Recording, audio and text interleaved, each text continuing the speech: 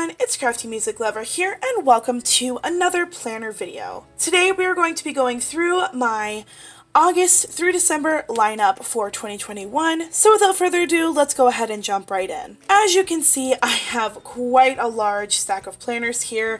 And if you have been with me for a while, or if you follow me on Instagram and you came here from Instagram, you know that I have always said that I will never be a multiple planner person, that I would always have one planner and stick to that just one planner. However, as I continued to get more into planning, as I realized how much I needed to write down and track, I figured that one planner was not cutting it. It was just not enough room. Since everybody is redoing their planner lineup for July through December, I also said, well, this would be a perfect time for me to introduce some new planners and to figure out if multiple planners is even going to be able to work for me.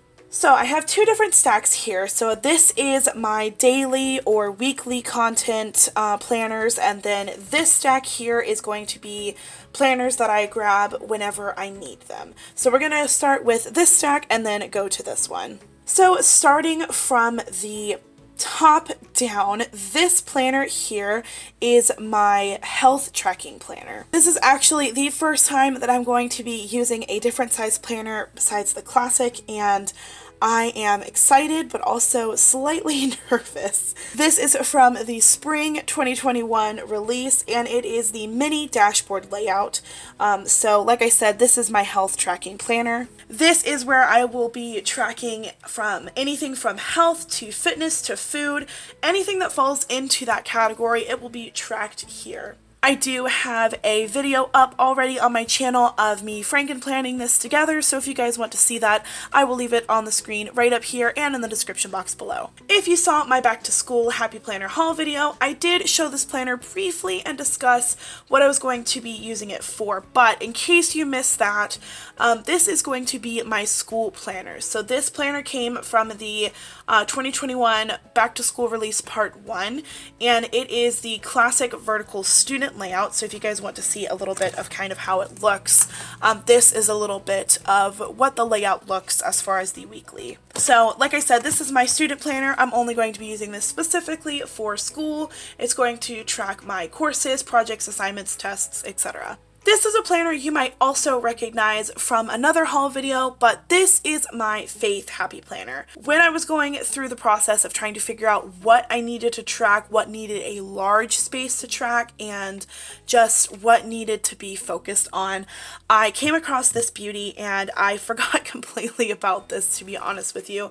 And I'm really glad that I remembered and I saw it and I was like, oh my gosh, I need to use this because I've been really needing a place to track um, my Bible journaling and my Bible studies. This planner I'm going to be using to track my daily devotions, my studies, my Bible studies, and everything like that. I actually do have a separate notebook that I use for decorative Bible journaling and decorative spreads, but this is going to be um, something completely different. If you guys do want to see like a little flip through, like a little mini look at what that looks like, I'm be more than happy to do that for you. But like I said, this is what it is going to be used for on this planner. And then finally for the lineup for my weekly slash daily use are these two planners. And you guys are very familiar with this planner if you watch my planner videos because this used to be the OG planner. This used to be the only planner that I use to plan in and this is the Good Habits Happy Planner. However, I realized that I was constantly, constantly covering up the track section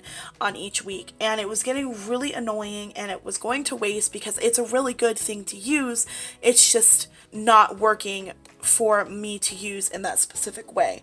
So I decided that I would make a catch-all planner and I actually franken planned this together um, and took some stuff out of this planner. So if you guys want to see that video, it's also already up on my channel. It will be up here on the screen and in the description box below. But like I said, I decided to make a catch-all happy planner and that is going to be this one.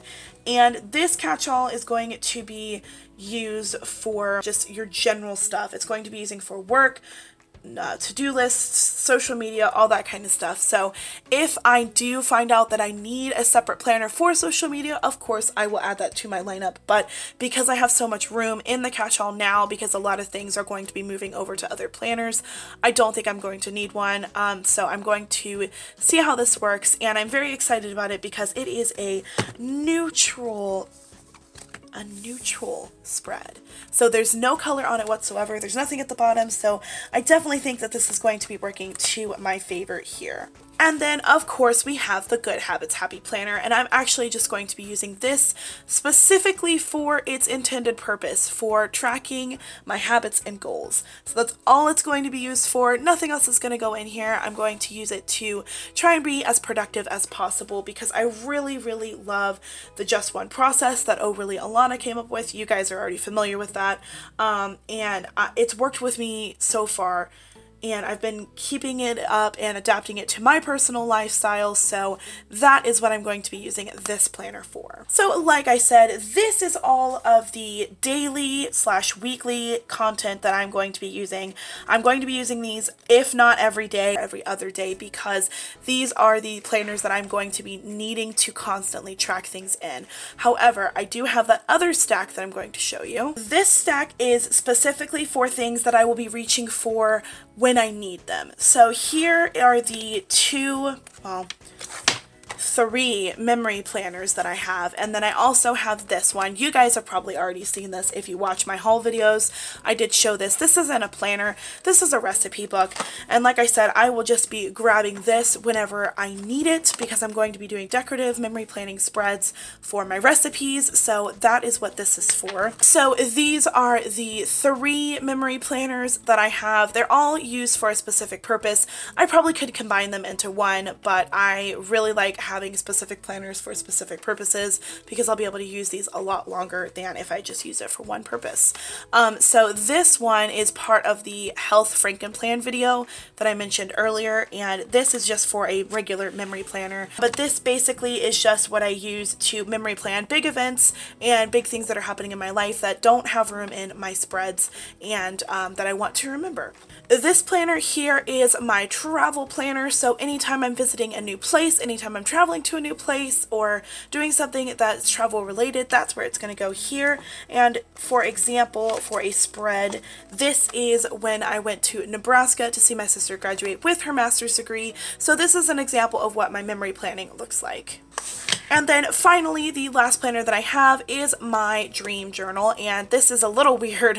Um, I understand not a lot of people probably have this, but I need to track my sleep and my progress on my sleep. And I'm also using this space to track my sleep journaling, um, like my dreams basically.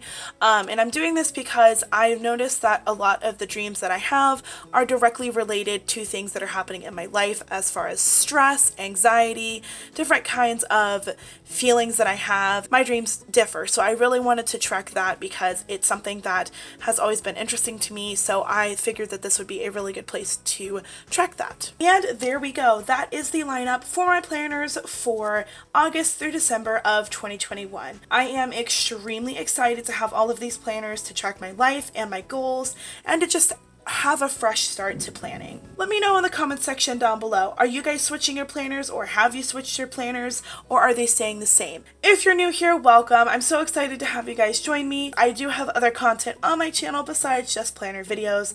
I craft with polymer clay and I have art prompt journal book series as well. So if you guys are interested in any of that, check the description box for a full list of all my different playlists. Don't forget to let me know if you want to see an in-depth look at any of my planners or if you'd like to see that Bible journaling notebook that I talked about. If you enjoyed this video, don't forget to give it a big thumbs up and consider subscribing so you don't miss more planner related content just like this. Once again, thank you guys so much for watching. I really hope you enjoyed it and as are excited as I am to start a new batch of planners. Until next time, craft on. Bye guys!